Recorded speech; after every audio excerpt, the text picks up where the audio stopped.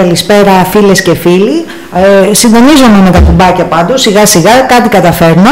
Ε, θα ήθελα να σας ευχαριστήσω όλους που μας βλέπετε, ως συνήθως τους φίλους από τη Θεσσαλονίκη και από την Πάτρα, ε, που είναι και κοινοί φίλοι με την προσκεκλημένη μας. Ε, και σήμερα επειδή η προσκεκλημένη μας ε, Γιώτα Χουλιάρα είναι εξειδικευμένη στα θέματα της ε, πολιτικής αλλά και της γεωπολιτικής ε, και φίλοι Τούρκοι μας παρακολουθούν αν και δεν θα μιλήσουμε σήμερα για την Τουρκία.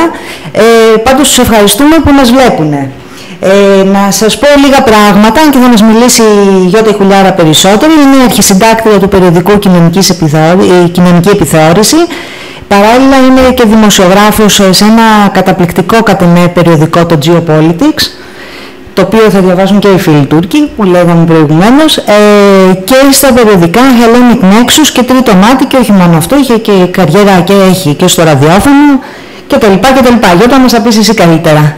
Καλησπέρα για μένα, ευχαριστώ πάρα πολύ για την πρόσκληση. Με τη Φωτεινή είμαστε φίλες χρόνια, το ξέρουμε εξάλλου οι ακροατές, ναι. ακροατές και μας βλέπουν, μας ακούνε και μας βλέπουν. Ναι. Είμαστε και ραδιόφωνο και διαδικτυακή τηλεόραση.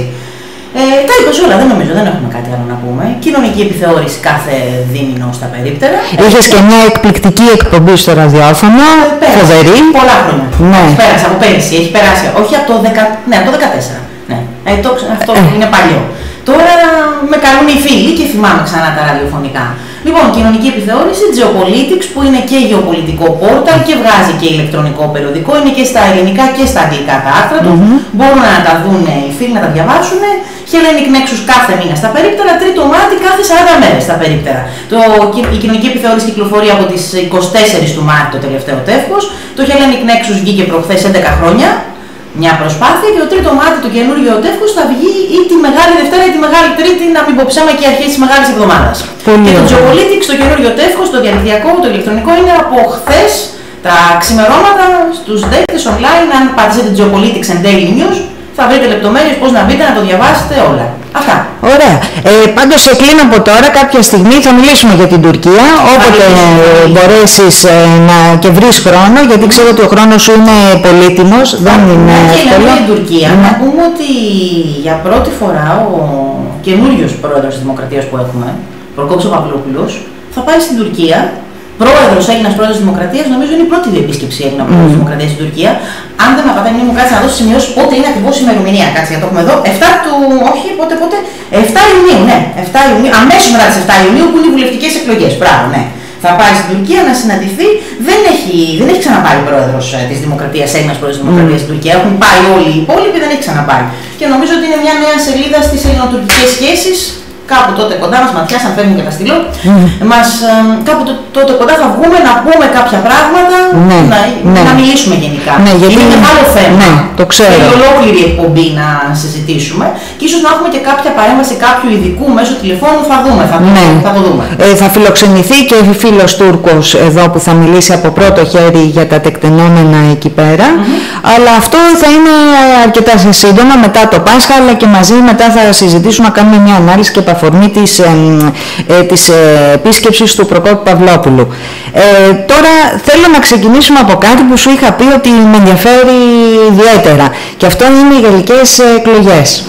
Έχω προσεξε, ναι. το τετράδιο εδώ πέρα γιατί για τις γαλλικές εκλογές, ε, άλλα λένε τα μαζικά μέσα ενημέρωσης, επικρατεί γενικότερα μια θολούρα. Πριν μπούμε στα δικά μας, που ξέρω ότι τα δικά μας ενδιαφέρουν, αλλά νομίζω ότι επειδή δεν είμαστε μόνοι στην, ε, στη γη, βέβαια είμαστε έθνος ανάδερφων, αλλά δεν είμαστε μόνοι στον πλανήτη, πρέπει να ξέρουμε και το τι γίνεται και σε επίπεδο Ευρωπαϊκής Ένωσης και μάλιστα σε μια χώρα όπως είναι η Γαλλία.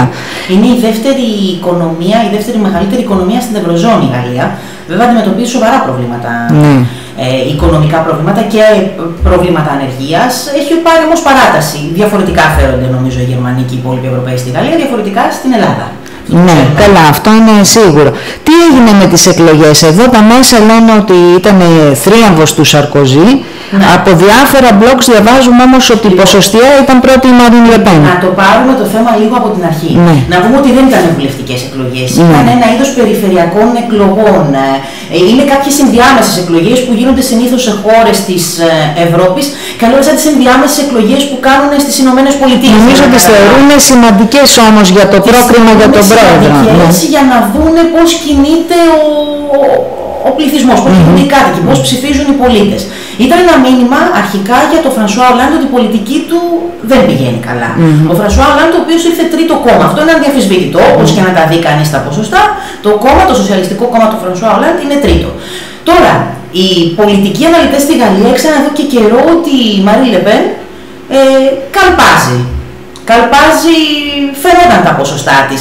Και μάλιστα οι δημοσκοπήσεις, όσες δημοσκοπήσεις είχαν κάνει, την έδειχναν και σαν φαβορή στον πρώτο γύρο των προεδρικών εκλογών. Ακούγεται ότι στον πρώτο γύρο θα είναι φαβορή. Τώρα τι θα γίνει από εκεί και έπειτα στους επόμενους γύρους δεν το, δεν το έχουν πει ακόμα οι πολιτικοί αναλυτές. Γι' αυτόν τον λόγο νομίζω ότι σκεφτόμενοι κάποιοι μέσα στην κεντροδεξιά, γιατί κεντροδεξιά είναι ο, ο Νικολάς Σαρκοζή, ο πρώην πρόεδρος της Γαλλίας, αποφάσισαν ότι έπρεπε να επιστρέψει. Βέβαια ο Νικολάς Σαρκοζή έχει, δεν έχει ξεκαθαρίσει κάποια πράγματα σχετικά με το πολιτικό παρελθόν του. Εκκρεμούν εις βάρος του πράγματα που θα πρέπει εμείς τώρα. Α μην τα πιάσουμε αυτά. Νομίζω ότι η γαλλική δικαιοσύνη είναι κατάλληλη να μην το συζητήσουμε αυτό. Α, δεν έχει ξεκαθαρίσει κάποια θέματα με αυτό. Παρ' όλα αυτά βγήκε και ηγήθηκε της ε, κεντροδεξιάς.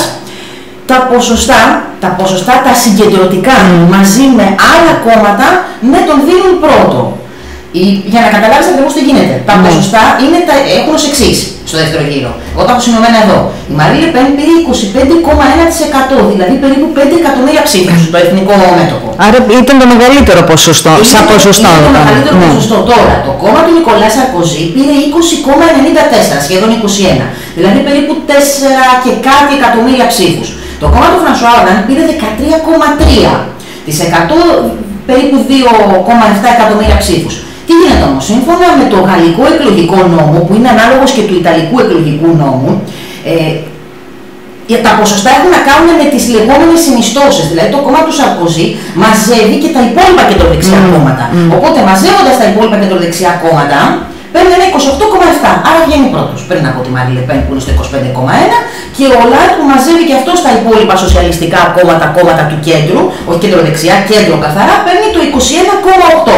Οπότε τα ποσοστά τελικά που βγαίνουν εμφανίζουν το Σαρκοζή πρώτο με, 27, με 28,7, τη Λεπέν δεύτερη με 25,1 που είναι το μόνο να το πούμε τώρα να χρησιμοποιήσουμε το ακραίο εντός εισαγωγικών ακροδεξιό, να το πούμε καλύτερα, ακροδεξιό κόμμα και τρίτος Σολάρ με 21,8%.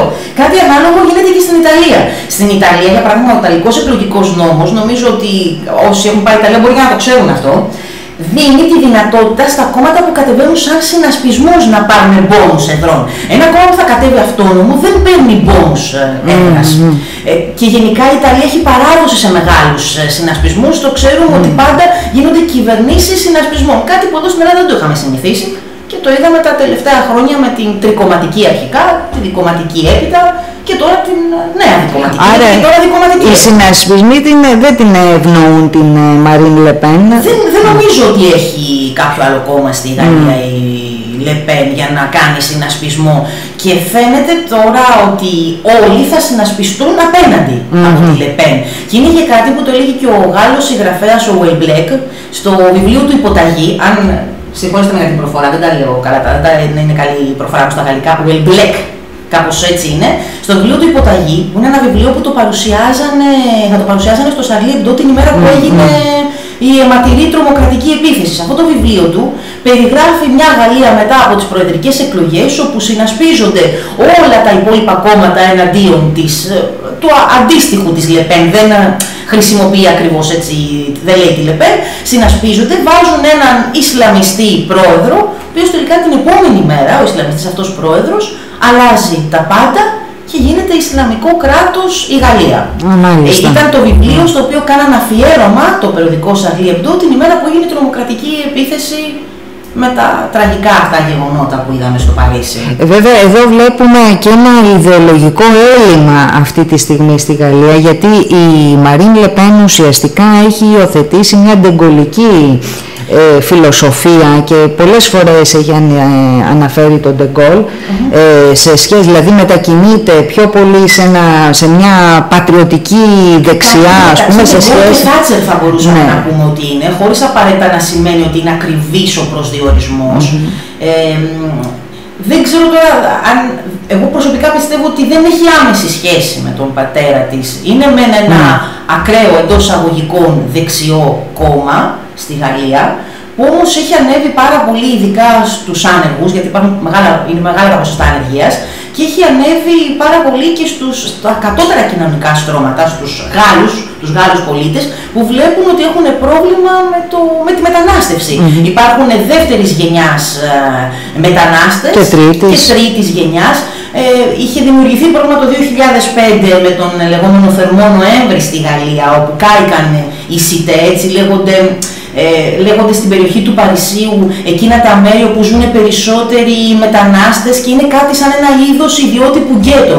Ε, στο γαλλικό κινηματογράφο υπάρχουν και ταινίες που μπορούν να δουν όσοι φίλοι ασχολούνται με γαλλικό κινηματογράφο. Υπάρχουν ταινίες που δείχνουν την κατάσταση που επικρατεί και βλέπουμε ότι υπάρχουν και πάρα, πάρα πολλοί μαύροι Γάλλοι πολίτες. Είναι όμως στην ουσία παιδιά Αλγερινών, Μαροκινών, δεύτερης και τρίτης γενιάς που ίσως τώρα κάπου αντιδρούν έτσι για τον τρόπο που οι Γάλλοι φέρθηκαν, γιατί να το πούμε και αυτό, που είχαν φερθεί στην Αλγερία, mm-hmm. είχαν φερθεί στο Μαρόκο, έτσι. Είναι η εξωτερική πολιτική και όλα τα δεινά που είχαν κάνει οι Γάλλοι. Πάντως η άνοδος της δείχνει μια ευρύτερη άνοδο του ευρωσκεπτικισμού. Από το 2011, ε. από τις τελευταίες τοπικές εκλογές του 2011, έχει αυξήσει κατά 10% mm. το ποσοστό της δείχνει μια γενικότερη άνοδο του ευρωσκεπτικισμού, την οποία θα τη δούμε τώρα αν. Γιατί έχουμε και το Φάρατζ στη Βρετανία. Ναι, ναι. βέβαια, ο Φάρατζ έκανε μια δήλωση πριν από δύο-τρεις εβδομάδες και είπε ότι αν δεν τα πάει καλά σε αυτές τις εκλογές θα αποχωρήσει. Μέχρι στιγμής οι εκλογές είναι ένα ντέρμπι που δεν έχουν παρουσιάσει το Φάρατζ οι δημοσκοπήσεις. Είναι ντέρμπι με το κυβερνό κόμμα και την αξιωματική αντιπολίτευση μέχρι στιγμής. Δηλαδή στις δημοσκοπήσεις το πρωί προηγείται το ένα κόμμα, το βράδυ στις δημοσκοπήσεις προηγείται το άλλο. Ο Φάρατζ δεν φαίνεται μέχρι στιγμής να απειλεί το βρετανικό πολιτιακό, πολιτικό σύστημα, για να το πούμε έτσι. Δεν ξέρω τώρα τι θα γίνει. Σαφώς όμως ο ευρωσκεπτικισμός ανεβαίνει και με άλλα κόμματα. Mm-hmm. Είδαμε τις εκλογές στην Ισπανία. Πριν από λίγες μέρες είχαμε εκλογές και εκεί στην Ανταλουσία συγκεκριμένα, όπου το κόμμα του Μαριάνο Ραχώη, ο Μαριάνο Ραχώη είναι όπω ήταν ο Σαμαράς εδώ, mm. για να το πούμε έτσι απλή γλώσσα. Είδαμε λοιπόν ότι το κόμμα του Μαριάνου Ραχώη έχασε, έχασε παταγωδός, έχασε από τους σοσιαλιστές. Μόνο που για μένα δεν ήταν οι σοσιαλιστές οι μεγάλοι κερδισμένοι. Δεν ήταν ούτε καν ο Παύλο Ιγκλέσιας με τους ποντέμους ο μεγάλος κερδισμένος, γιατί τον περιμένανε τον Παύλο Ιγκλέσιας. Για μένα είναι ένα δεξιό, κεντροδεξιό κόμμα που είναι γνωστό στην Ανταλουσία. Ε, η Θουινταντάνος λέγεται, ενός 36χρονου ή 36-38 χρονών είναι ο δικηγόρος, αυτή τη στιγμή μου διαφεύγει το όνομα. Ναι, σε τον Ιγκλέσιας περίπου στην Ναι, ένα ναι. προφίλ, αλλά δεν είναι αριστερός. Ο Ιγκλέσιας ναι. έχει αριστερό προφίλ, ο ναι. συγκεκριμένος έχει πιο δεξιό προφίλ. Το κόμμα του, η Θουιντανάνος, είναι πολύ γνωστή στην Ανδαλουσία. Δεν είναι γνωστή στην υπόλοιπη Ισπανία. Φαντάζομαι τώρα ότι αυτές οι εκλογές και το ποσοστό που πήρε, γιατί πήρε αρκετά καλό ποσοστό, θα του δώσουν το ερέθισμα να γίνει γνωστός και στους υπόλοιπους Ισπανούς. Εκεί έχουμε εκλογές μέχρι το τέλος του έτους πρέπει να γίνουν εκλογές. Mm-hmm. Ο Ραχώη έχει δεσμευτεί ότι μέχρι το τέλος του 2015, μέχρι το Δεκέμβριο του 2015, θα έχουμε εκλογές ε, στην Ισπανία. Κάπου μέσα στο Σεπτέμβριο έχουμε εκλογές και στην Πορτογαλία. Τώρα μιλάμε για χώρες του Ευρωπαϊκού Νότου που έχουν περάσει τα πάντινα από την ε, ε, οικονομική πολιτική λιτότητα της Άγγελα Μέρκελ των Βρυξελών του Βερολίνου. Και εμείς έχουμε περάσει τα χειρότερα από όλους, ε, εντάξει, ναι, και περνάμε. Εμείς ναι. είμαστε λίγο διαφορετικά. Οπότε εκεί θα φανεί, θα δούμε τι θα γίνει σε όλες αυτές τις εκλογικές αναμετρήσεις. Επίσης, κάτι που πέρασε στα ψηλά στον ελληνικό τύπο και δεν το είδαμε, είχαμε εκλογές και στην Ολλανδία. Mm-hmm. Ε, Στις εκλογές της Ολλανδίας, το κόμμα του Πρωθυπουργού του Μαρκ Ρούτε δεν τα πήγε καθόλου καλά. Ούτε το κόμμα του Γερούν Ντάισελμπλουμ, γιατί εκεί είναι συνασπισμός. Είναι ένα συνασπισμός όπου ο Πρωθυπουργός είναι από άλλο κόμμα, ο Γερούν Ντάισελμπλουμ, ο γνωστός σε όλους μας Υπουργός Οικονομικών, ε, είναι από άλλο κόμμα. Δεν τα πήγαν καλά αυτά τα δύο κόμματα. Mm. Πέρασε στα ψηλά εδώ πέρα, δεν το είδαμε στα ελληνικά μέσα μαζικής ενημέρωσης. Βλέπουμε δηλαδή ότι τα παραδοσιακά, δεν θα χρησιμοποιήσω την έκφραση κεντροδεξιά κόμματα, τα παραδοσιακά φιλοευρωπαϊκά κόμματα αρχίζουν και έχουν πτώσει στην, στις εκλογικές αναμετρήσεις που γίνονται, που έχουν ξεκινήσει να γίνονται από το 2014, από το τέλος του 2014 και προχωράμε μέχρι και το 2015. Είχαμε και την εκλογική αναμέτρηση εδώ πέρα στην Ελλάδα, κάτι που Κάποιοι δεν περιμένανε, δεν, δεν περιμέναν ότι ο ΣΥΡΙΖΑ θα πάρει αυτά τα ποσοστά και δεν περιμέναν ίσως ότι θα τα καταφέρει να συνεργαστεί και με τους ανεξάρτητου Έλληνες. Mm-hmm. Γιατί σου λέει υπάρχουν εκ διαμέτρου αντίθετες απόψεις ανάμεσα ναι, αυτά... τον Τσίπρα και τον ε, Δεν είναι ευρωσκεπτικιστικά κόμματα όμως, ε, ούτε ο ΣΥΡΙΖΑ ούτε θα λέγαμε. κόμματα δεν είναι με την έννοια που το, το λέμε, το συζητάμε. Mm-hmm. Ε, είχαν χαρακτηριστεί ως αντιμνημονιακά κόμματα ναι. και φαντάζομαι ότι ακόμα. Γιατί η Λεπέν το θέτει ξεκάθαρα επιστροφή στο εθνικό νόμισμα, αυστηρή νόμοι για, τους, για τις μετανάστευσεις και τα λοιπά και κυρίως η επιστροφή στο εθνικό τους νόμισμα. Κάτι το οποίο δεν έχει, από τα δικά μας εδώ δεν υπάρχει. Δεν έχει ναι. κάτι τέτοιο και ο Αλέξης Τσίπρας νομίζω ήταν ξεκάθαρος και κατά τη διάρκεια της συνάντησή του με την Άγγελα Μέρκελ, όπου τον καλοδέχτηκε η Άγγελα Μέρκελ, να το πούμε αυτό, και κατά τη διάρκεια των δηλώσεων που έχει κάνει κατά καιρούς εδώ πέρα στην Ελλάδα και προχθές στην Ολομέλεια της Βουλής, δεν είπε ποτέ ότι θέλει να φύγει η χώρα από το ευρώ. Τώρα βέβαια είχε αφήσει κάποια υπονοούμενα πάνω ο Καμένος, mm. αλλά όλα αυτά πριν το ταξίδι του στην Αμερική. Γιατί ναι, το ναι. ταξίδι στην Αμερική δεν ξέρω, ίσως αλλάζουν λίγο τα δεδομένα. Είχε όμως μια αγάπη για τη Ρωσία. Τι, για να πάμε λίγο να δούμε τα θέματα της Ρωσίας που ε, αρέσουν σε εμάς τους Έλληνες ιδιαίτερα και έχουμε και πολλούς φίλους. Η μόνη ε, χώρα ναι. του ΝΑΤΟ με έντονα φιλορωσικά συναισθήματα. Ναι, Αυτό είναι ιστορικά εντάξει. Ναι. Αυτό είναι πραγματικά παράδοξο, πραγματικά. Ναι. Μόνο στην Ελλάδα μπορούσε να συμβαίνει. Εντάξει, υπάρχουν ιστορικοί δεσμοί με τις δύο χώρες και πολιτισμικοί δεσμοί. Και η Ορθοδοξία. Ναι. Η Ορθοδοξία και γενικά ο έντονος αντιαμερικανισμός που είχε καλλιεργηθεί από το 1981 και έπειτα από τον Ανδρέα Παπανδρέου. Νομίζω οι παλιότεροι το θυμούνται αυτό, θυμούνται τα προεκλογικά πριν από το 81 το έξω από το ΝΑΤΟ και όλα τα υπόλοιπα. Ναι, ναι, ναι. Ε, λοιπόν, σχέση με τη Ρωσία. Να πούμε ότι έχουμε μια πολύ σημαντική συνάντηση αυτή την εβδομάδα του Αλέξου Τσίπρα με τον ε, Ρώσο πρόεδρο, τον Βλάντιμιρ Πούτιν. Θα γίνει τη Μεγάλη Τετάρτη όπου θα συζητηθούν πάρα πολλά σε αυτή τη συνάντηση. Σήμερα βέβαια βγήκε ανακοίνωση από το γραφείο τύπου του Ρώσου Προέδρου ότι τα θέματα που θα συζητηθούν θα είναι δύο. Η οικονομική κατάσταση στην Ελλάδα και οι σχέσεις Ευρωπαϊκής Ένωσης και Ρωσίας όπως έχουν προκύψει μετά, την, μετά τις κυρώσεις λόγω της Ουκρανικής κρίσης. Βέβαια, όσο γνωρίζουμε από τις πληροφορίες που έχουμε, ο Αλέξης Τσίπρας πηγαίνει με πιο μεγάλη ατζέντα. Δηλαδή, θέλει να συζητήσει με τους Ρώσους για να έχουμε άρση του ρωσικού εμπάργου σε κάποια προϊόντα η οποία ενδέχεται να ξεκινήσει γιατί από ό,τι ε, ανακοίνωσαν μάλιστα από τη Ρωσία στις 20 του Απρίλη η δική τους υγειονομική υπηρεσία θα ξεκινήσει να ελέγχει τις αντίστοιχες εδώ αγροτοβιομηχανικές μονάδες της Ελλάδας και ίσως άφησαν να εννοηθεί ότι ίσως θα υπάρξει άρση του εμπάργου. Επίσης ο Αλέξης Τσίπρας πηγαίνει με ατζέντα μέσα για την τιμή του φυσικού αερίου. Θα ζητήσει μείωση στην τιμή του φυσικού αερίου. Τώρα, το θέμα της οικονομικής βοήθειας προς την Ελλάδα είναι κάτι που όπως γνωρίζουμε δεν υπάρχει στην ατζέντα. Κάτι που το διαβεβαίωσαν και από το γραφείο τύπου του Ρώσου Κοίτα, να σε, να σε διακόψω εδώ, γιατί διαβάζοντας ε, πρόσφατα, όπως ξέρεις, το βιβλίο του Γιώργου του Κασιμάτη για το, το απάνθρωπο καθεστώς δανεισμού ε, της Ελλάδας, αναφέρει ο καθηγητής ότι, ναι, ότι βάσει της Δανειακής Σύμβασης απαγορεύεται να προσφύγουμε σε τρίτες χώρες για οικονομική βοήθεια. Λοιπόν, και αναφέρονται και ονομαστικά ναι. οι χώρες αυτές. Είναι η Ρωσία, είναι η Κίνα, αναφέρονται σαν χώρες μεμονωμένες όμως. Δεν το αναφέρει αυτό στο βιβλίο, ναι. είπε μόνο για την προσφυγή σε τρίτες χώρες. Στο μνημόνιο μέσα αναφέρονται ονομαστικά. Ρωσία, Κίνα. Δεν αναφέρεται συνασπισμούς Παράδειγμα, η Αναπτυξιακή Τράπεζα που έχουν φτιάξει οι χώρες οι αναδυόμενες οικονομίες, οι λεγόμενες mm. BRICS, η Βραζιλία, η Ρωσία, η Ινδία, ε, η, Κίνα, η Κίνα και, η Νότιος Αφρική. Δεν αναφέρεται σε αυτή την Αναπτυξιακή Τράπεζα, όπως επίσης ε, φαντάζομαι, δεν ξέρω αν πιάνεται και η καινούργια τράπεζα που φτιάχνει τώρα η Κίνα, στην οποία θα συμμετέχουν και οι Δυτικοί. Mm-hmm. Ε, και είναι ένα άλλο μεγάλο θέμα που κατατάσσει την Κίνα πάρα πολύ ψηλά, την Κίνα που είναι παραδοσιακό σύμμαχος της Ρωσίας. Α τα αφήσουμε όμως λίγο το θέμα της Τρώγονται λίγο βέβαια, έχουν κάτι διαφορούλες εκεί πέρα. Ναι. Τα βρίσκουν, είναι ε, παραδοσιακοί Με σφιγμένα δόντια, αλλά τα βρίσκουν ναι, στα τέλος. Είναι ναι. που τα βρίσκουν ε, και νομίζω ότι και μετά τις τελευταίες ε, συμφωνίες και συζητήσεις που έχουν κάνει, γιατί έχουν υπογράψει συμφωνίες μαμούθ από πέρυσι τον Μάιο, από τον Μάιο του 2014 και έχει πάει τέσσερις ή πέντε φορές ο Βλάντιμιρ Πούτιν στο Πεκίνο. Νομίζω πέντε. Δεν είμαι, νομίζω πέντε φορές έχει πάει, ναι. Ε, δεν έχουν πρόβλημα πλέον περπατάνε λίγο χέρι-χέρι, θα μπορούσαμε να το πούμε. Ναι, γιατί ουσιαστικά η ενέργεια έχει δοθεί στη Ρωσία, ενώ όλη η Ιλανική έχει δοθεί στην Κίνα. Οπότε πάνω στα πλαίσια αυτά της συνεργασίας, της οικονομικής, βαδίζουν χέρι-χέρι. Αλλά γι' αυτό που μου έλεγες ναι. τώρα που, έλεγε, που, λέει, που γράφει στο βιβλίο του κ. Κασιμάτης, όντως είναι έτσι, το αναφέρει το μνημόνιο, απαγορεύεται δάνειο από τη Ρωσία, απαγορεύεται δάνειο από την Κίνα. Φαντάζομαι ότι αν η Ελλάδα ήθελε να προσφύγει και να πάρει δάνειο από τη Ρωσία, κάτι που για μένα δεν είναι λύση αυτή τη στιγμή, γιατί δεν μπορεί να δανείζεσαι διαρκώς για να. Κάνει ναι. Θα έκανε κίνηση μέσω της ε, Αναπτυξιακής Τράπεζας των BRICS, των λεγόμενων mm. αναδυόμενων οικονομιών. Είχε ιδρυθεί από πέρυσι στη Φορταλέζα της Βραζιλίας έγινε η ίδρυση και φέτος ε, τον ε, Ιούλιο στη ρωσική πόλη Ουφα, γιατί η Ρωσία είναι και πρόεδρος αυτής της χρονιάς στις BRICS, στη ρωσική πόλη Ουφα, θα γίνουν και οι τελευταίες λεπτομέρειες. Και η τράπεζα νομίζω θα έχει την έδρα της στη Σαγκάρη. Θα ανακοινωθεί, στην, θα ανακοινωθεί τον Ιούλιο που θα είναι η έδρα της.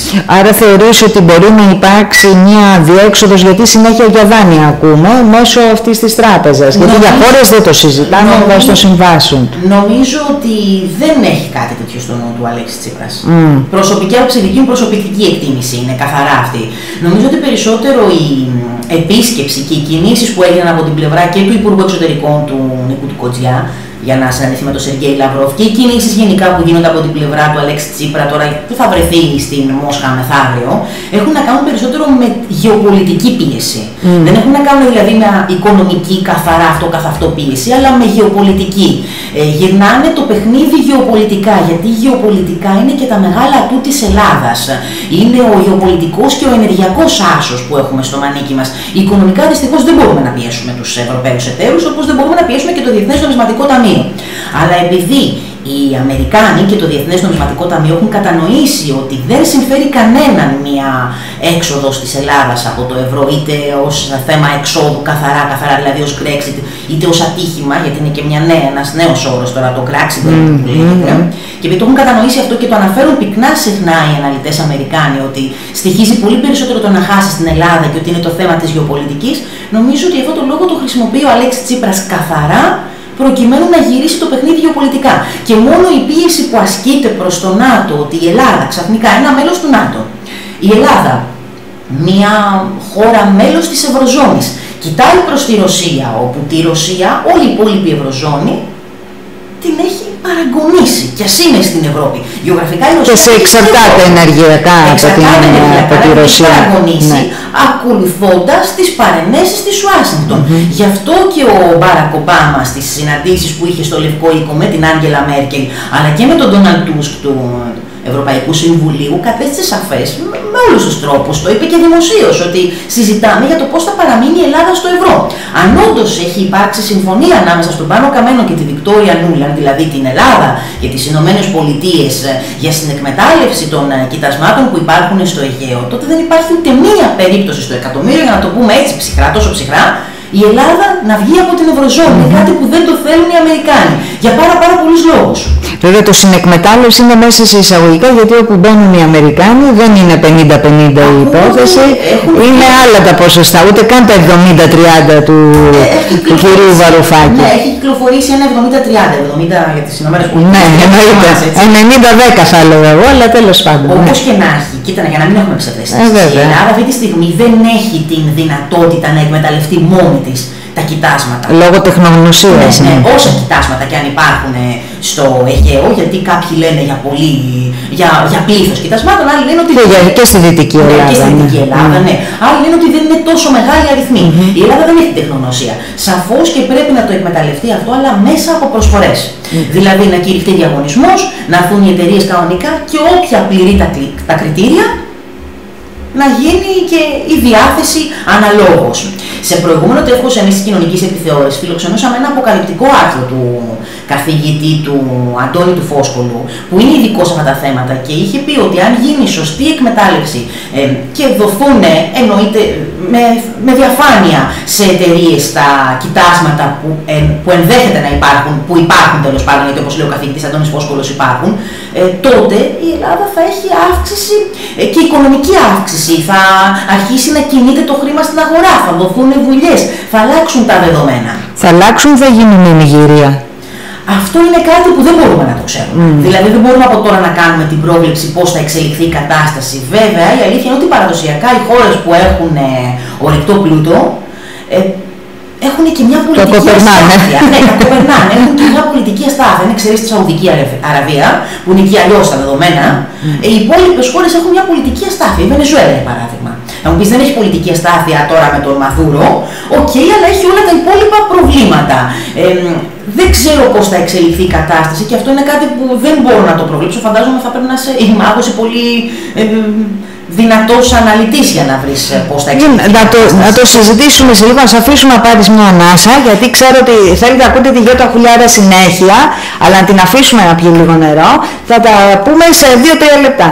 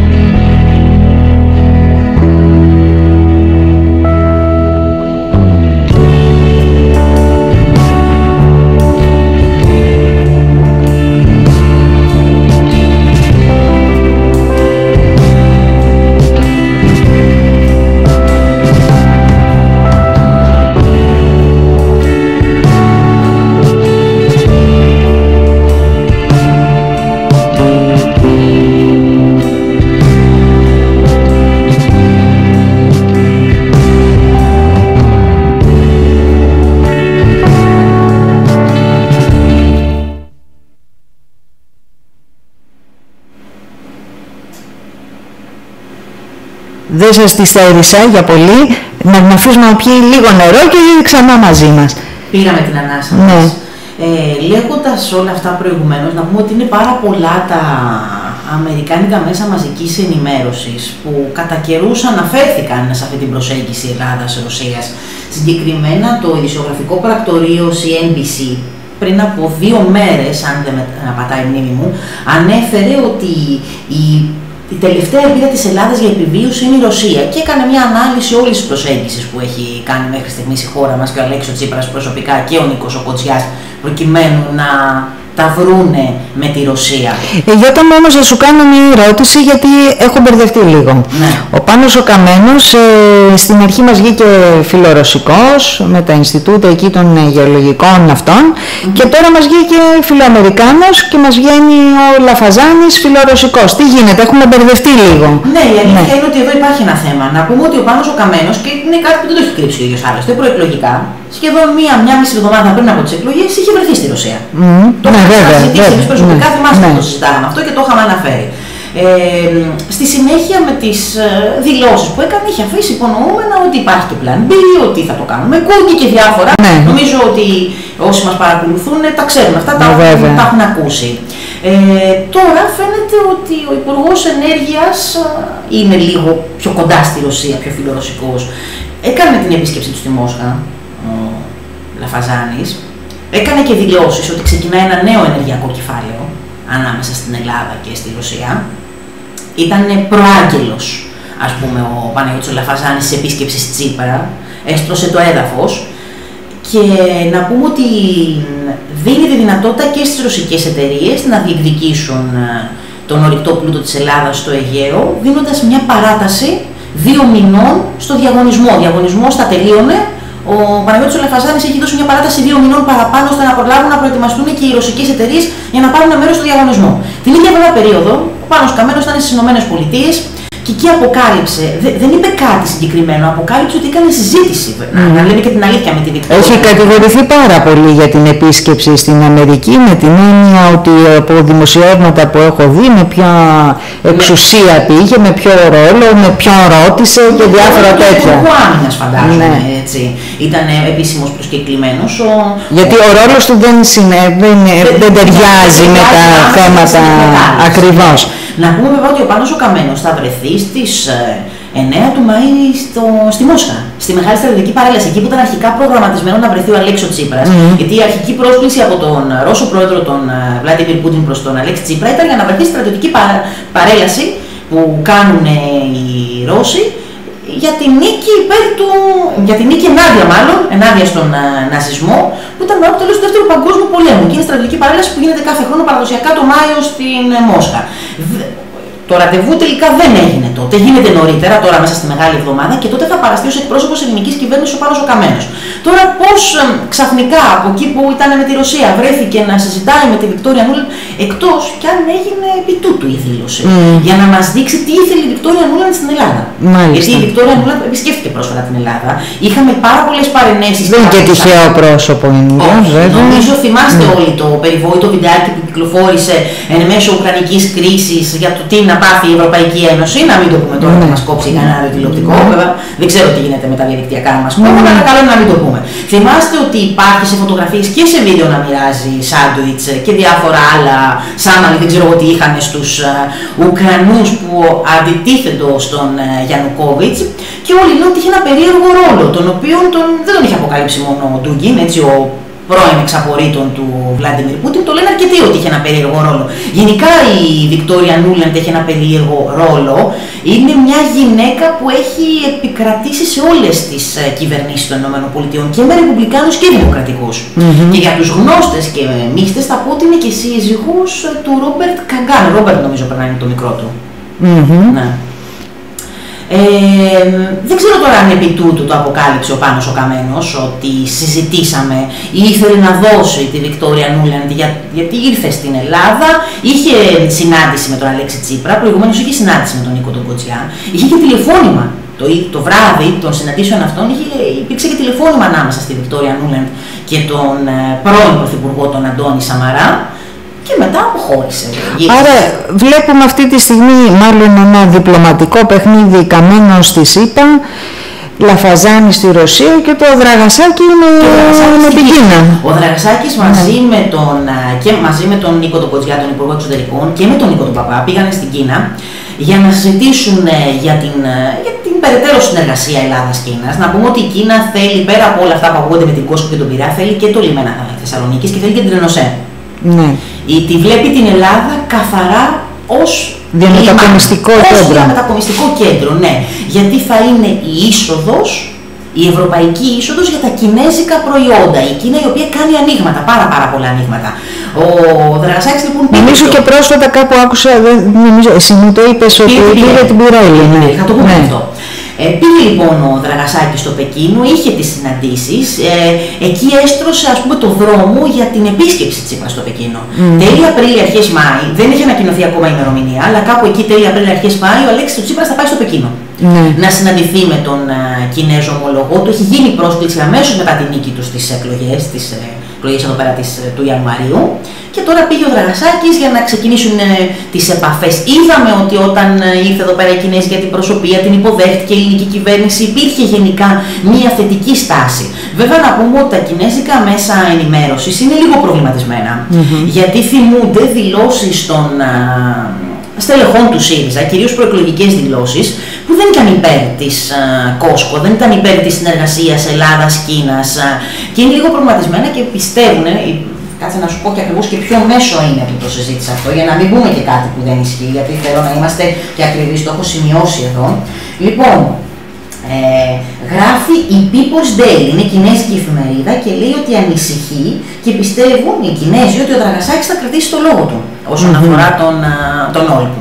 Ναι. Αυτές δηλαδή είναι οι αναφορές που μας έρχονται μέχρι στιγμής από την Κίνα. Κίνα που φαίνεται ότι είναι πλέον παγκόσμια οικονομική δύναμη.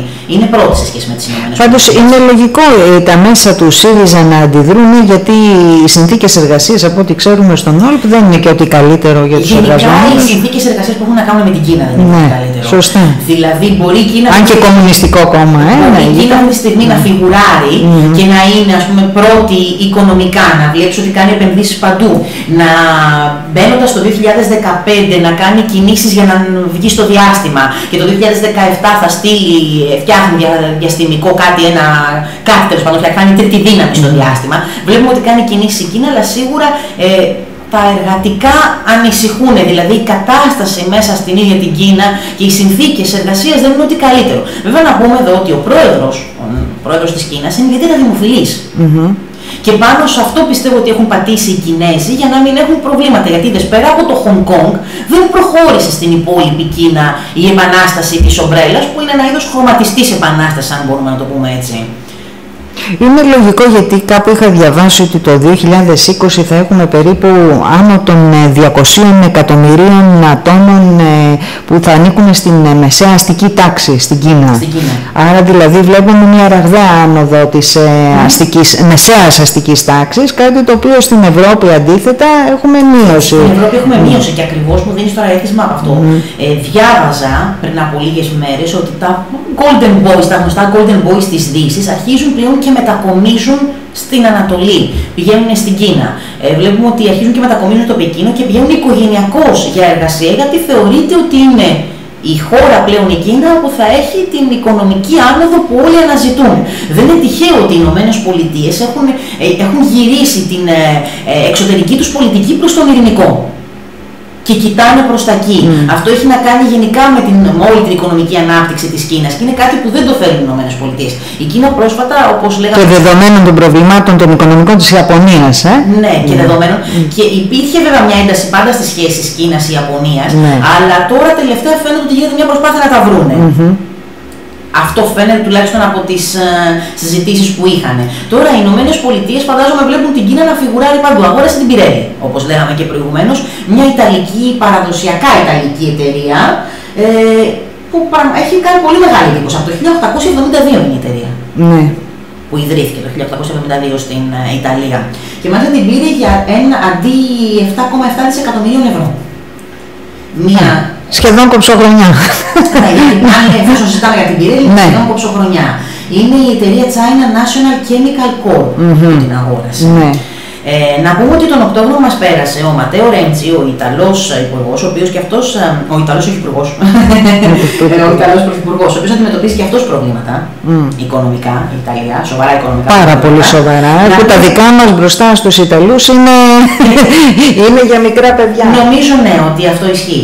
Ο Ματέο Ρέντσι λοιπόν υπέγραψε συμφωνίες με τον Κινέζο ομόλογο τότε ύψου 8 δισεκατομμυρίων ευρώ.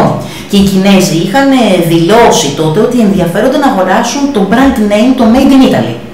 Ε, τους ενδιαφέρει αυτό. Mm. Στα μέσα μαζικής ενημέρωσης της Κίνας ακούγεται πολύ έντονα αυτό ότι η Κίνα, λόγω του ότι δεν έχει ίδιο brand name το Made in China σε σχέση με το Made in Italy, Καμία σχέση. ενδιαφέρεται εσύ που ασχολείσαι ναι. με αυτά και ναι. το ξέρεις, το γνωρίζεις πάρα πολύ ναι. καλά. Η Κίνα λοιπόν ενδιαφέρεται να αγοράσει στην ουσία το Made in Italy. Και μάλιστα να σου πω ότι διάβαζα εδώ ότι 18 τρισεκατομμύρια ευρώ είναι ο συνολικός τζίρος που έχουν οι Κινέζοι από 1.250 Ιταλικές εταιρείες. Μετέχουν αυτές τις 1.250 Ιταλικές εταιρείες και έχουν 18 τρισεκατομμύρια ευρώ. Μιλάμε δηλαδή για μεγάλο ποσό. Mm-hmm. Άρα γίνεται η μετατόπιση. Κάπου είχα διαβάσει βέβαια ότι έχουμε γεννήσεις στην Κίνα 36.000 την ημέρα. Στην Κίνα υπάρχει και νόμος ναι. ειδικά με το θέμα των ε, γεννήσεων. Το, τον ελαστικοποιήσανε κάπως, ναι. Ειδικά με το Αλλά είναι εντυπωσιακό, αν το σκεφτείς 36.000 την ημέρα, μιλάμε δηλαδή για μια πόλη, ξέρω εγώ σαν τα Τρίκαλα, ημερησίως. Η, η ναι. Κίνα, εντάξει, είναι και πολύ μεγάλη. Δεν έχει καμία σχέση με τις ε, ευρωπαϊκές χώρες δεν το συζητάμε ναι. έτσι. Δεν μπορούμε να. Δεν τίθεται θέμα να κάνουμε συγκρίσεις. Αλλά σαφώς φαίνεται ότι οι Κινέζοι θέλουν να κυριαρχήσουν. Γι' αυτό το λόγο και η Μόσχα έχει στραμμένο το ένα της βλέμμα. Δηλαδή, αν ο Πούτιν μπορούμε να πούμε ότι το ένα του βλέμμα το έχει στραμμένο στην Ευρώπη και κοιτάει η Ευρώπη και κυρίως Ελλάδα για να δει πώς θα, μπορεί, θα μπορέσει η Ρωσία να βγει στο Αιγαίο που είναι και ο διακαή πόθο παραδοσιακά, το άλλο του βλέμμα ο Πούτιν το έχει στραμμένο στο Πεκίνο. Ναι και, είναι, και έχει πολύ καλή σχέση, έχει πολύ καλή σχέση με τον ε, Κινέζο πρόεδρο, με τον Κινέζο ομολογό του.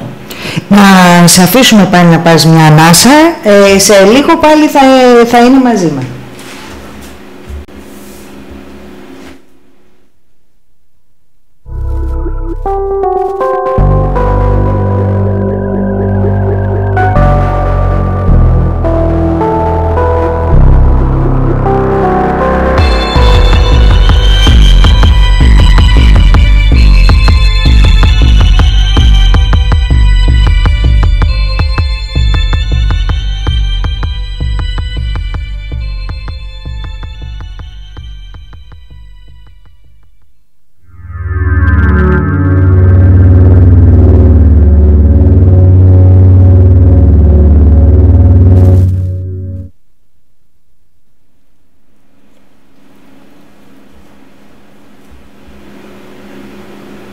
Είμαστε και πάλι ε, στον αέρα. Α, ε, να ναι, πούμε και κάτι, ναι. δεν το είπαμε πριν και θέλω να το πω.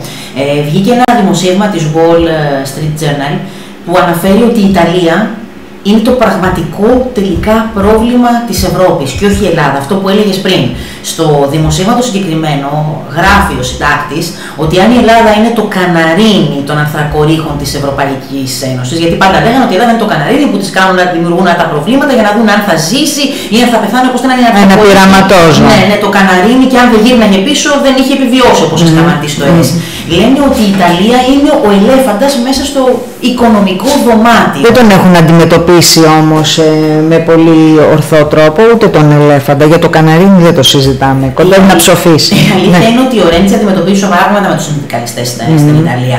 Και θεωρώ ότι η κίνησή του να δώσει στον Αλέξη Τσίπρα τη γραβάτα όταν είχε πάει να τον επισκεφτεί ο Αλέξης Τσίπρας ήταν περισσότερο συμβολική σαν να του έλεγε. Που έδωσε και μια φτηνιάρικη, να πούμε και καμιά της πρωτοβουλία. Ήταν της Ιταλικής Προεδρίας.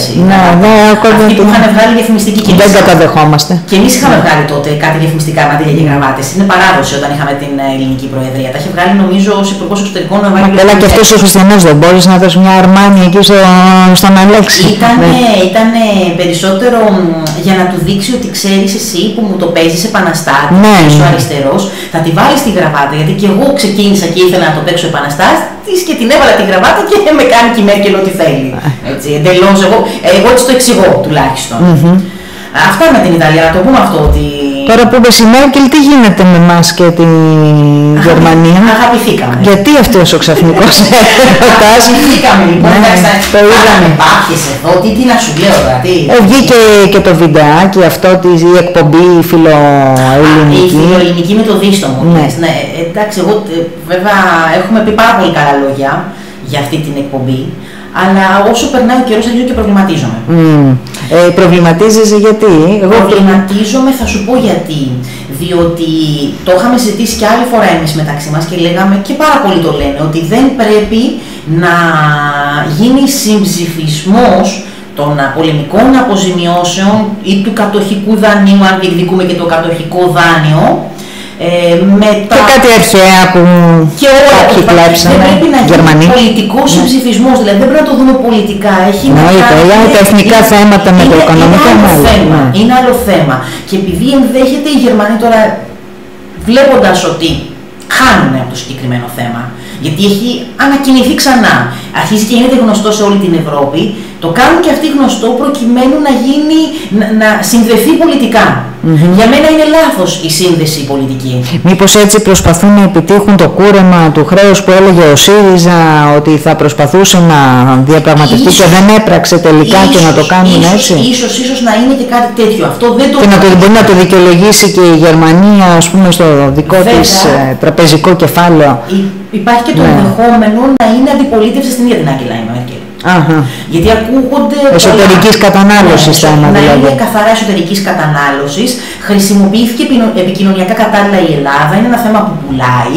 Ε, θέλησαν να δείξουν ότι είναι ανώτεροι. Mm-hmm. Έδειξαν το συγκεκριμένο βίντεο. Ήταν εξαιρετική ομολογουμένως η εκπομπή. Πραγματικά ήταν εξαιρετική. Γιατί σε πήγαινε σταδιακά, ε, καυτηρίαζε όλα τα γεγονότα από το γέλιο, σε πήγε στο δάκρυ και χτύπησε πραγματικά κόκαλο. Δηλαδή ο μέσος Γερμανός πολίτης βλέποντάς την σίγουρα ένιωσε τσιμπήμα.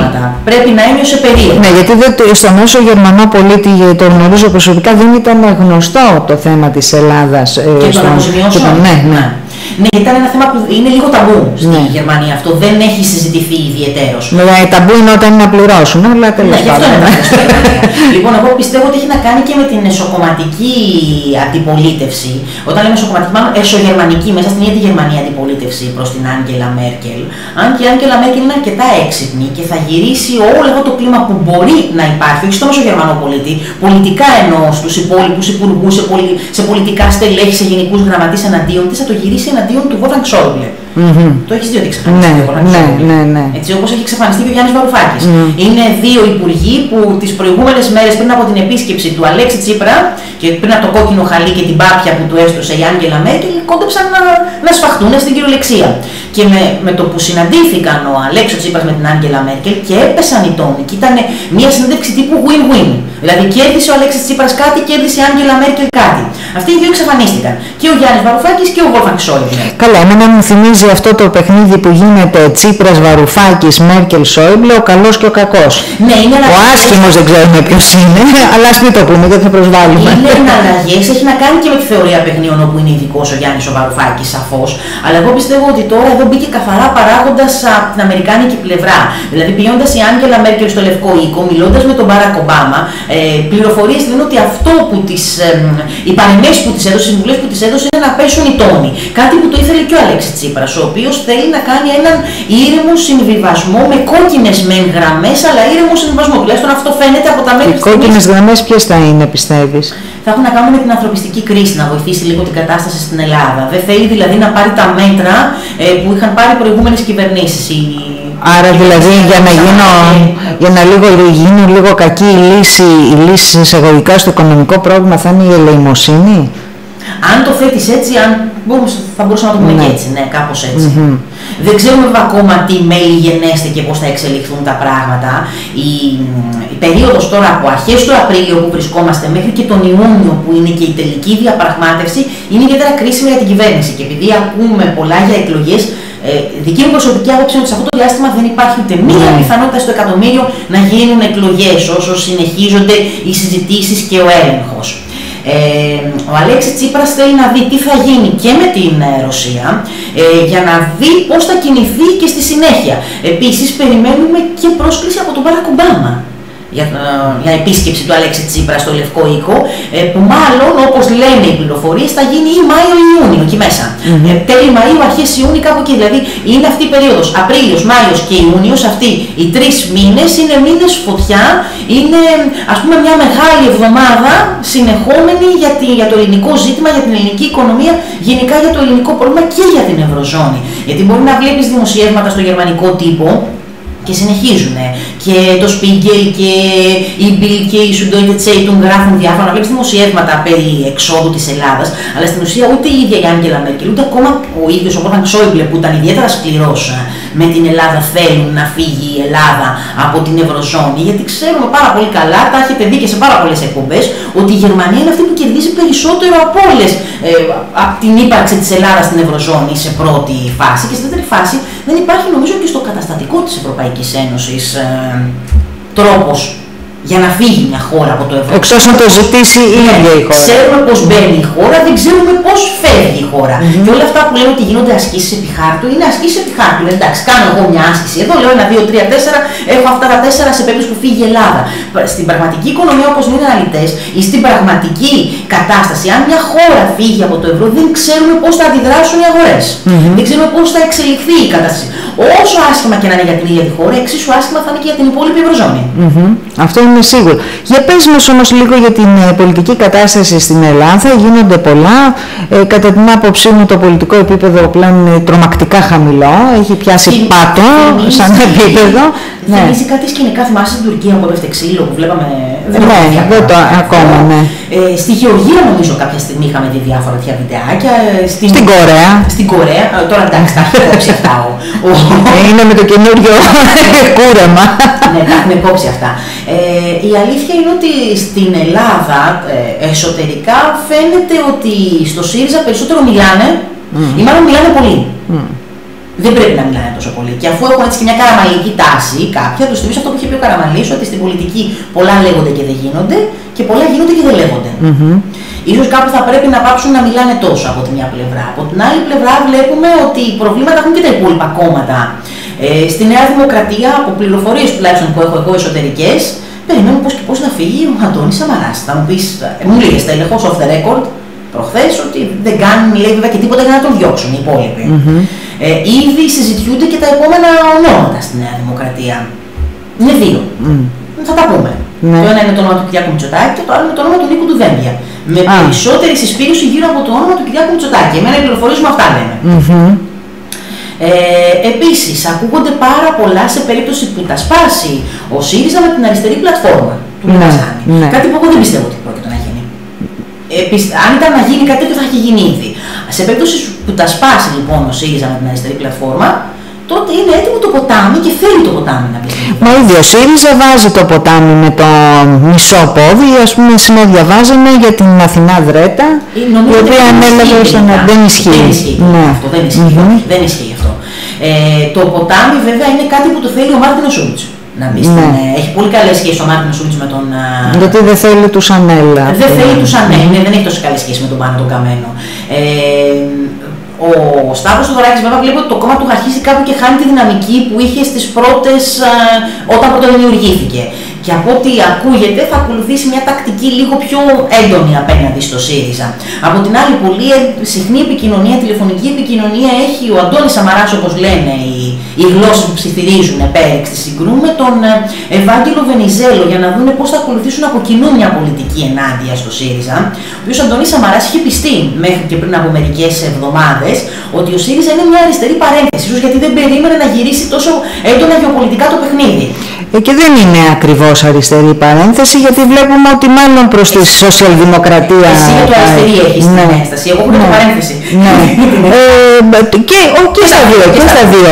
Έπιασα ε, γιατί εντάξει έχω μια δυναμία στα ιδεολογικά ότι δεν είναι, θεωρείται αριστερό κόμμα ο ΣΥΡΙΖΑ, έχει κάνει στροφή στη σοσιαλδημοκρατία ξεκάθαρη. Η Washington Post ναι. είχε πριν από δύο δύο-τρει μέρες, μια εβδομάδα κάπου εκεί, άρθρο που έλεγε τι θα κάνει ο ΣΥΡΙΖΑ με την ε, αριστερή του πτέρυγα. Mm-hmm.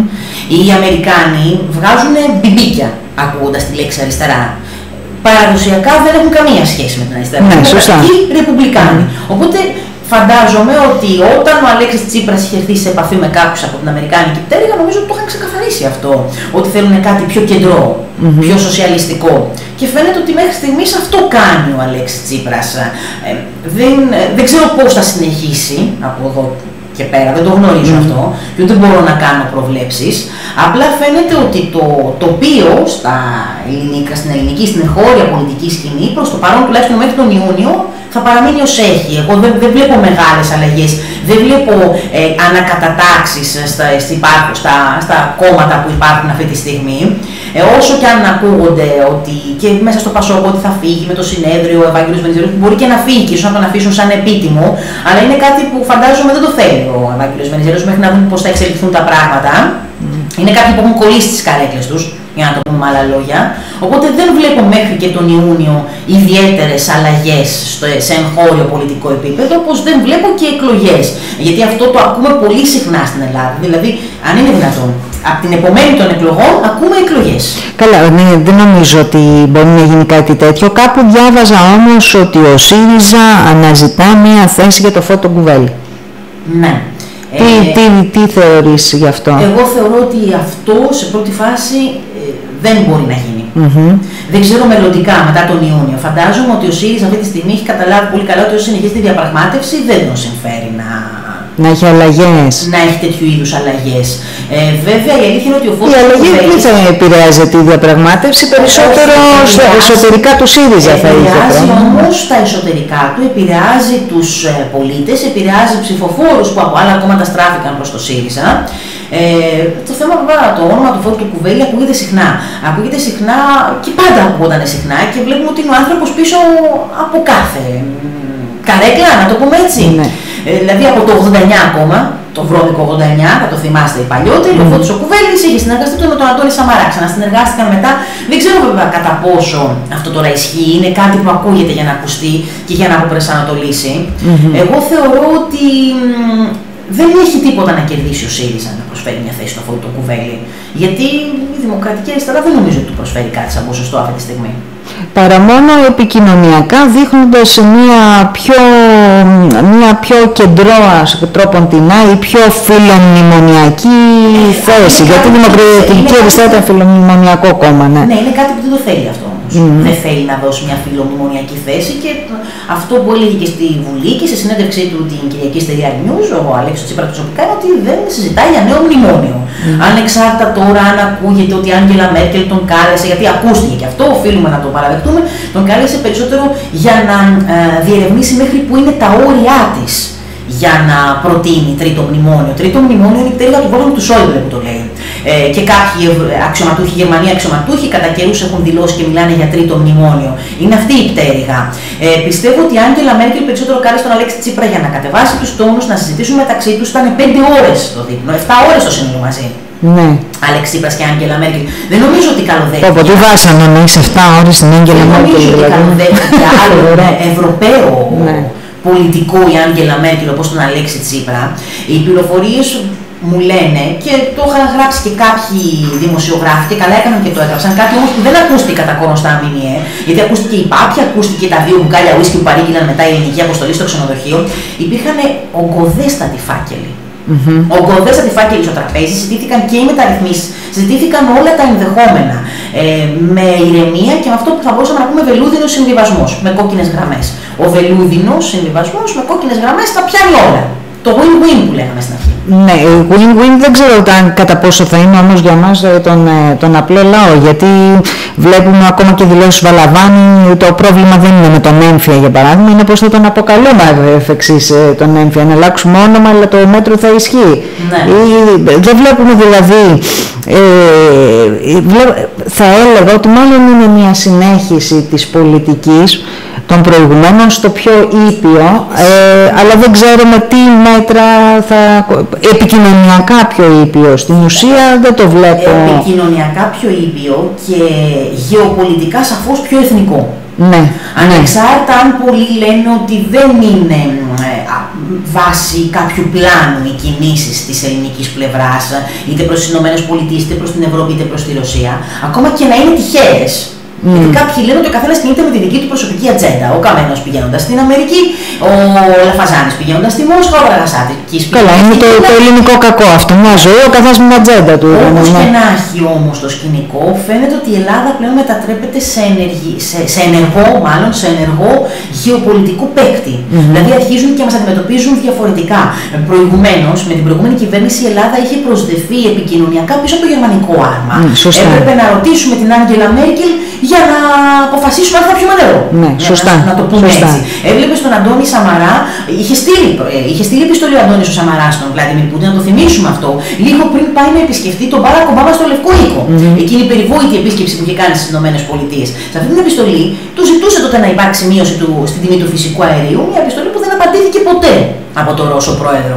Στη συνέχεια η Ελλάδα έκανε ό,τι έκανε η Γερμανία. Ούτε καν ό,τι έκανε η Αμερική. Δηλαδή η Γερμανία συνενόταν με την Αμερική και αποφάσισε τι θα κάνει η Ελλάδα. Λες και ήταν η Ελλάδα κανονικά γερμανικό προτεκτοράτ. Θα μου πεις τι θέλεις, να είναι αμερικάνικο. Τουλάχιστον τώρα συνομιλεί με όλους. Εγώ δεν λέω να είναι προτεκτοράτο αμερικάνικο ή ρώσικο. Αυτή τη στιγμή συνομιλεί με όλους. Και αυτό το έδειξε ο Κοτσιάς, ο Υπουργός Εξωτερικών, από την πρώτη στιγμή με τις επαφές που έκανε και με τον Γερμανό, ομολογό του και με τον Ρώσο είχε επαφή και με τον κύριο έχουν μιλήσει και με την Ουλάνα Πατριθινούλα. Γενικά φαίνεται ότι η Ελλάδα μιλάει για τον εαυτό της με όλους. Είναι πλέον Παρ... ενεργός παίκτης στη γεωπολιτικής σκακέρα και είναι αυτό που μας νοιάζει και μας ενδιαφέρει περισσότερο απ' όλα. Ανεξάρτητα τώρα τι μπορεί, τι, πώς θα εξελιχθεί στην, στην πορεία η κατάσταση. Παρόλο που βάζει των συμβάσεων, ε, των ενιακών συμβάσεων, έχουμε απολέσει οριστικά και ανεφόρον την εθνική κυριαρχία. Που λόγω, είναι... λόγω αγγλικού δικαίου. Ναι. Η αλήθεια είναι ότι μπορούμε όλα αυτά, φαντάζομαι, έμπειροι συνταγματολόγοι, γιατί εγώ δεν είμαι συνταγματολόγος. Καλά, δεν το εγώ. Ναι. Έμπειροι συνταγματολόγοι θα μπορούσαν να κινηθούν νομικά ε, για κάτι τέτοιο, ε, διότι όλα αυτά που υπεγράφησαν με το μνημόνιο είναι και ενάντια στο Σύνταγμα. Mm, σωστά. Είναι ενάντια στο Σύνταγμα και το Σύνταγμα είναι πάνω απ' όλα. Οπότε κάποιοι θα έπρεπε κάπως με κάποιο τρόπο να κινηθούν και νομίζω ότι εκεί ίσως θα πρέπει να δώσει και βάση η κυβέρνηση. Ναι, γιατί είναι θέμα εθνικής στρατηγικής, δεν είναι μεμονωμένων ε, συνταγματολόγων. Άλλωστε, ένας από τους συνταγματολόγους που είχε τεθεί κατά όλης αυτής της κατάστασης ήταν ο ίδιος ο Κατρούγκαλος. Ναι, ναι. Πριν γίνει υπουργός. Τώρα ναι. δεν το αναφέρει. Δεν έχει πρόβλημα. αναφέρει. Ε, νομίζω ότι όλο και όλο αυτό το παιχνίδι που έγινε, παιχνίδι, εντός αγωγικών παιχνίδι με τον Γιώργο Κατρούγκαλο, ε, είναι μέσα στα πλαίσια των γενικότερων θεμάτων που βλέπουμε. Δεν, δεν το ξέρω καλά το θέμα με τον Γιώργο Κατρούγκαλο και δεν θέλω να το κρίνω. Ε, αλλά πιστεύεις ότι τώρα μετά την εξέλιξη έτσι όπως αυτά μαθεύτηκαν θα μπορούσε να βγει και να πει κάτι; Όχι, εντάξει, ναι. σίγουρα, σίγουρα. Αυτό που πρέπει να δει η ελληνική πλευρά είναι πώς θα μπορέσει να συνεχίσει να μιλάει όντως σαν ενεργός παίκτης, όπως γίνεται μέχρι στιγμής, και να κερδίσει ό,τι καλύτερο μπορεί. Ε, δεν ξέρω αν υπάρχει, σου λέω, κάποια στρατηγική και ίσως αυτό είναι και το λάθος της χώρας. Γιατί βλέπεις ότι η Τουρκία και συγκεκριμένα η Άγκυρα, επειδή μας ακούνε και φίλοι από την Τουρκία αυτή τη στιγμή, η Άγκυρα έχει πλάνο δεκαετίας, τι, εικοσαετίας. Δεν το συζητάω. Οι Ηνωμένες Πολιτείες στην εξωτερική πολιτική, η Ουάσιγκτον έχει πλάνο δεκαετίας. Η Γερμανία έχει ξεκινήσει και αυτή τώρα και συζητάει τα θέματα της εξωτερικής πολιτικής της με τον Σταν Μάγερ, που φαίνεται, ακούστηκε από πολλούς ότι είναι ο διάδοχος της Μέρκελ. Εγώ προσωπικά δεν το πιστεύω ότι θα είναι αυτός ο διάδοχος. Ε, συζητάει πλέον για θέματα. Πάλι γυναικεία παρουσία. Θα το συζητάμε. Αν έχουμε χρόνο θα το πούμε και λίγο. Έχουμε, δύο, λεπτά. δύο λεπτά. Λοιπόν, ο Σταν Μάγερ συζητάει και αυτός για εξωτερική πολιτική για τη Γερμανία. Ήταν ταμπού στη Γερμανία με όλα αυτά που έγινε στο Δεύτερο Παγκόσμιο Πόλεμο να συζητήσει για εξωτερική πολιτική. Πάμε λίγο τρέχοντας στην Υπουργό Άμυνας, την Ursula von der Leyen, η οποία λένε ότι είναι η διάδοχος της Άγγελας Μέρκελ. Δεν την τοποθέτησε τυχαία η Άγγελα Μέρκελ στο Υπουργείο Αμήνη της Γερμανίας. Ε, Όπως είχε πει και ο Independent τότε, ένα Υπουργείο που θα μπορούσε να καεί και οι πολιτικές καριέρες, το Γερμανικό Υπουργείο Άμυνας. Mm-hmm. Ε, η συγκεκριμένη, βέβαια, να σου πω ότι είναι η Μέρκελ, αλλά στο πιο φιλοευρωπαϊκό με αμερικάνικες δόσεις. Είναι και νεότερη.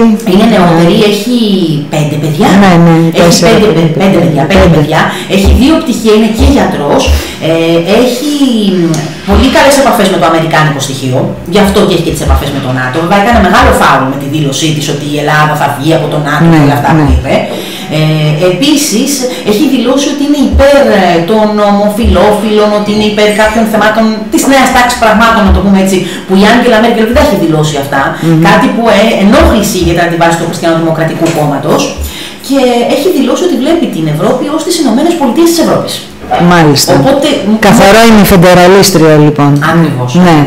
Αν και εγώ πιστεύω ότι ούτε η Ούρσουλα τουλάχιστον μέχρι στιγμής, έτσι, με τα μέχρι στιγμής δεδομένα, φαίνεται να είναι η διάδοχος τη Άγγελας Μέρκελ. Με να δείξει, θα το δούμε. Η Άγγελα Μέρκελ είναι η ίδια διάδοχος του εαυτού της και στι επόμενες εκλογές το 2017 στην Γερμανία.